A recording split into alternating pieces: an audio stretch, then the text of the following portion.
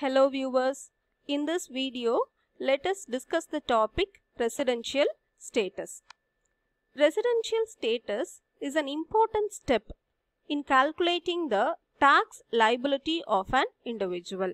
So how is this residential status determined? It is determined on the basis of the period of stay of that individual in India. That is, depending upon the number of days that individual stays in India, his residential status will be calculated. So, on the basis of the number of days the individual stays in India, he can be classified either as a resident or a non-resident. If the individual satisfies any one of the basic condition, he will be called as a resident. On the other hand, if he fails to satisfy the basic condition, he will be called as a non-resident. This resident can be further classified into ordinarily resident and not ordinarily resident. If that individual satisfies both the additional conditions, that is, apart from satisfying any one of the basic condition, he has to satisfy both the additional conditions. Then he is an ordinarily resident. On the other hand, if the individual fails to satisfy the additional condition, that is, apart from satisfying the basic condition, he fails to satisfy the additional condition, he will be called as a not ordinarily resident. So now we were talking about basic condition and additional condition based on which we are going to classify an assessee into a resident or a non-resident. So what are these basic conditions and additional conditions? There are two basic conditions. The first basic condition is the individual must have stayed in India for a period of 182 days or more during the previous year. The second basic condition is the individual must have stayed in India for a period of 60 days in the previous year and 365 days in the 4 years preceding the relevant previous year. In the second condition, this and is very important because it has two components 60 days and 365 days. If an individual satisfies both the 60 days and 365 days only, he is satisfying the second basic condition. Another thing is the 4 years preceding the relevant previous year. What is this 4 years preceding the relevant previous year? I will explain this with an example. For example, if you take 2021 as your previous year, write down the 4 years from 2021, 1920, 1819, 1718 and 1617. These are the 4 years before the relevant previous year. These 4 years are called as the 4 years preceding the relevant previous year. So, to satisfy the second basic condition, the individual must have stayed in India for a period of 60 days in the previous year and 365 days in the 4 years preceding the relevant previous year. Now, in the previous slide, we were talking about the two basic conditions which an individual has to satisfy.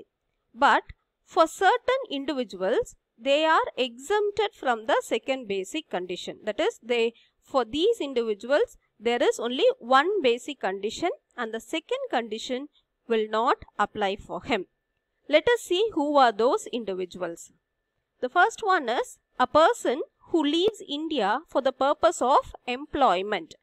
If an individual leaves India for the purpose of his employment, then for him the second basic condition will not apply. The second individual under this category is a person who leaves India as a member of Indian ship. If a person leaves India as a member of Indian ship, the second basic condition will not apply. The third category of individual for whom the second basic condition will not apply is a person of Indian origin. A person of Indian origin who has settled in a foreign country later on comes on a casual visit to India. For him also the second basic condition will not apply. Now moving on to the additional conditions. There are two additional conditions. The first additional condition is the individual must be a resident for 2 years out of 10 years preceding the relevant previous year. I have already explained you the concept of preceding the relevant previous year. Here it is 10 years. So from the current previous year, you write down the 10 years.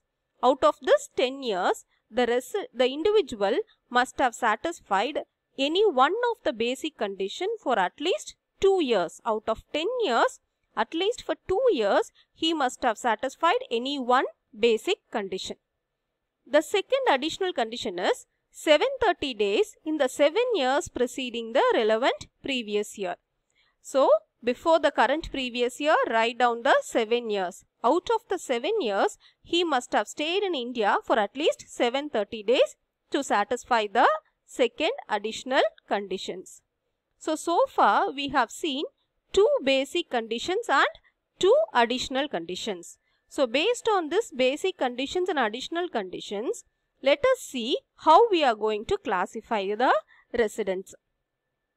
See, OR stands for ordinarily resident, NOR stands for not ordinarily resident, NR stands for non-resident.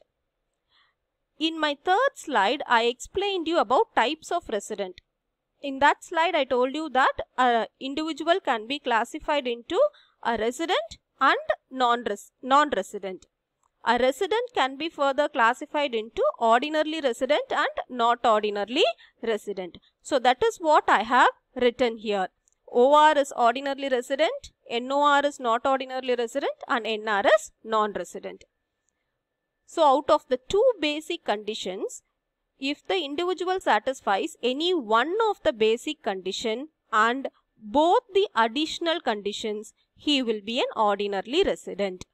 On the other hand, if the individual satisfies any one of the basic condition and does not satisfy any one or both the additional conditions, he will be classified as a not ordinarily resident.